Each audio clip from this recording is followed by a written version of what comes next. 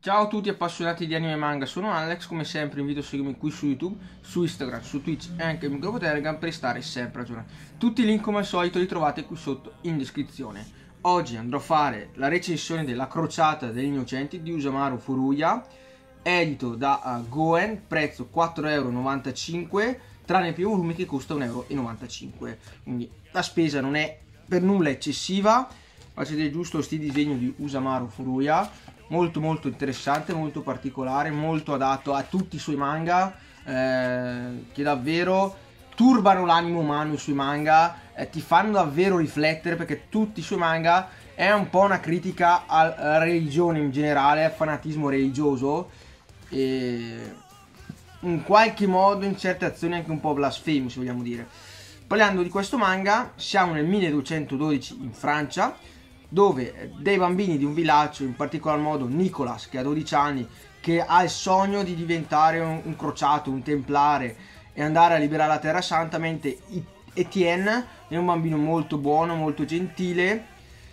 a un certo punto delle visioni, prevede, comunque prevede un po' il tempo guardando le nuvole, ha delle previsioni, visioni un giorno eh, trova una tromba in cui Dio gli stesso gli dice che devi partire per andare in guerra, eh, devi partire per andare a liberare la Terra Santa e con questa tromba crea dei miracoli, o almeno si pensa così, e quindi vediamo con quella fede il fanatismo religioso fin da subito e eh, lui viene editato come il nuovo messia e lui e gli altri ragazzi, in particolar modo Nicolas e gli altri, tutti gli altri bambini, eh, decidono di partire dal nord della Francia verso sud della Francia per partire poi per la Terra Santa. Eh, quindi è proprio un viaggio metaforico che i bambini fanno per entrare nel, nel mondo degli adulti nell'età adulta e l'autore fa capire che il passaggio dall'innocenza dei bambini all'età adulta questo passaggio fa corrompere il cuore innocente dei bambini facendoli compiere ogni tipo di nefandezza, ogni tipo di orrore, eh, assassini, eh, prostituzione, eh, soprattutto fa vedere il fanatismo religioso qua, una frase che mi ha toccato parecchio, tutti i diversi devono morire eh, per dimostrare che noi siamo nel giusto, siamo quelli che hanno ragione. Eh, molto forte come frase, fa vedere tutto il fanatismo religioso, soprattutto nelle crociate, ma anche molto odierno questa affermazione perché sfocia anche nel razzismo oltre che nel fanatismo, eh, come è successo anche nel nazismo.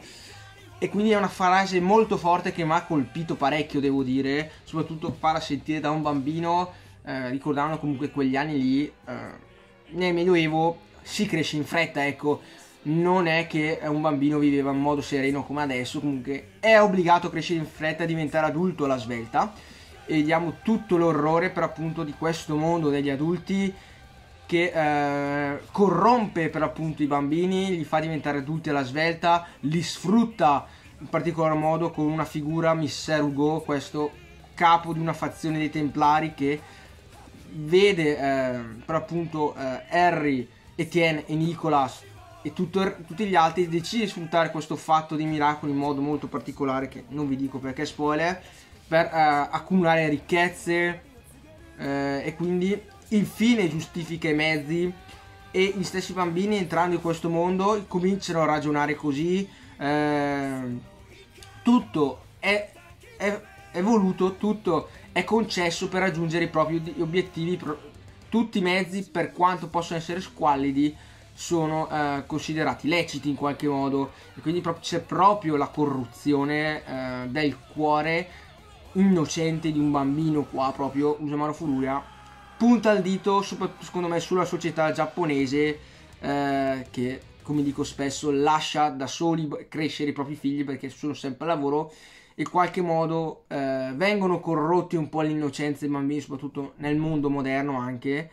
eh, soprattutto con ideologi- ideologie sbagliate eh, soprattutto facendo credere che i soldi possono tutti tutto e i soldi sono la prima cosa e ehm, si è da soli in questo mondo e è lecito anche tradire gli altri e eh, però appunto eh, i soldi fanno la padrona così come tutte le apparenze eh, le bugie sono spesso utilizzate e proprio vediamo gli innocenti come eh, vengono sfruttati e eh, mentre gli adulti cattivi crudeli che eh, usano qualsiasi mezzo la violenza eh, ottengono sempre quello che vogliono in effetti. E quindi anche se è sbagliato ovviamente perché non è così ma soprattutto oltre al fatto di eh, corrompere i cuori dei bambini nel mondo adulto ma proprio il fanatismo religioso come ho accennato all'inizio video che è molto potente in questo manga molto fatto vedere in modo parecchio crudo violento come queste ideologie sbagliate questi pensieri sbagliati eh, possono portare alla distruzione a compiere nefandezze peggiori di quelle che accusano, diciamo, i pagani in qualche modo. Eh, tutto si nasconde dietro la parola di Dio, cioè che compiere tutti eh, appunto questi peccati, ma usando dicendo che Dio vuole così, un po' ti assolvi da solo, ti fai scudo eh, con queste parole e per poter commettere eh, stupri, omicidi, furti, rapine, eh, violenza gratuita. E, e, davvero è un manga molto crudo, violento, eh, quindi consiglio comunque la visione a un pubblico magari un po' più adulto, ecco perché non è secondo me adatto appunto ai ragazzi perché fa vedere alla fine quello che non dovrebbe essere, ma è più un manga proprio per gli adulti, per far capire agli adulti, occhio, come crescete i vostri figli, non dovete ridurli così, non dovete fargli credere che è un mondo in cui comandano i soldi, anche se purtroppo è così, proprio più per educare i ragazzi, questo manga, per educare gli adulti i genitori in particolare per un occhio, dare un occhio di riguardo per appunto la crescita dei propri eh, bambini, dei propri ragazzi e farli crescere con altri valori perché secondo l'autore, secondo anche me, i valori odierni dal mondo sono secondo me fallaci, cioè mh, mm, sono valori non tanto giusti eh, che comunque prediligono l'io più del collettivo e soprattutto schiacciare il più debole eh, per erigersi eh, diventare salire di livello, salire eh, sulla scala economica in particolar modo, eh, almeno in questi tempi. Ovviamente c'è anche la violenza in questi tempi, però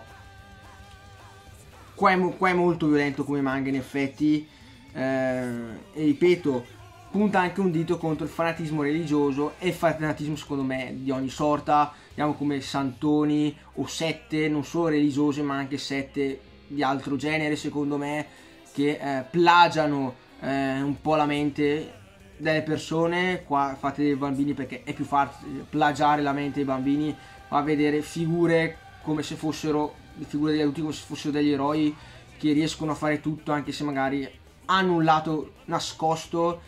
che eh, non mostrano agli occhi i bambini eh, fanno vedere solo la parte bella quando in realtà la parte brutta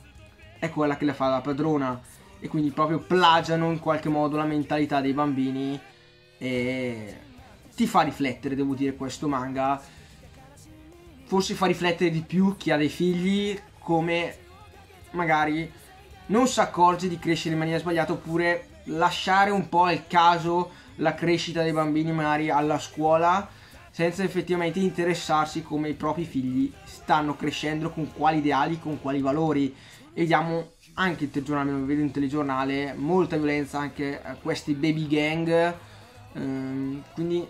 fa un po' male vedere queste cose perché basterebbe davvero poco interessarsi di più ai problemi dei, dei giovani e chiedere cosa vogliono, qual è il loro problema, cosa desiderano, se magari si sentono soli abbandonati e soprattutto questo cercare di imitare il mondo degli adulti non solo nelle cose belle ma soprattutto nelle cose brutte perché è ovvio che vedendo come ideale eh, questo mondo degli adulti che chi ha i soldi, chi ha il potere, comanda, ha la bella macchina, belle donne, è ovvio che attira di più che uno che magari fa una vita semplice, fa l'operaio semplice e magari fa anche fatica ad arrivare a fine del mese. E quindi, secondo me, la società dà un ideale sbagliato di quello che dovrebbe essere il sogno e l'obiettivo, soprattutto i mezzi per raggiungerlo. Uh, fatemi sapere qui sotto cosa ne pensate nei commenti se magari avete letto il manga. Noi ci vediamo ai prossimi video.